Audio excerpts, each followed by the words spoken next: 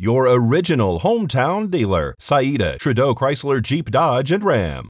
You know, it's uh, only happened uh, one other time that we've actually ventured into the Greek alphabet here to uh, start listing out uh, tropical systems, and that was back in 2005. Of course, that was the year that you had Katrina, Rita, and Wilma.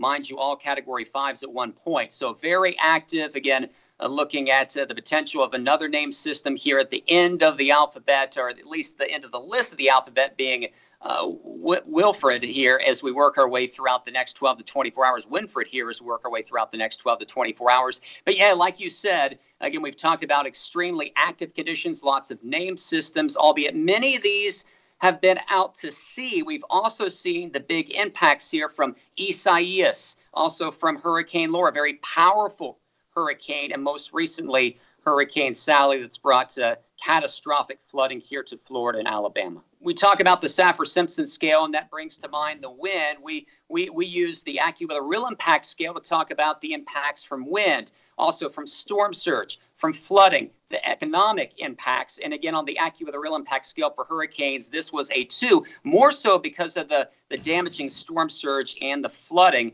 Again, freshwater flooding can be very dangerous and unfortunately very deadly. And we've seen rainfall amounts of two feet and even more than that here in portions of Florida and Alabama.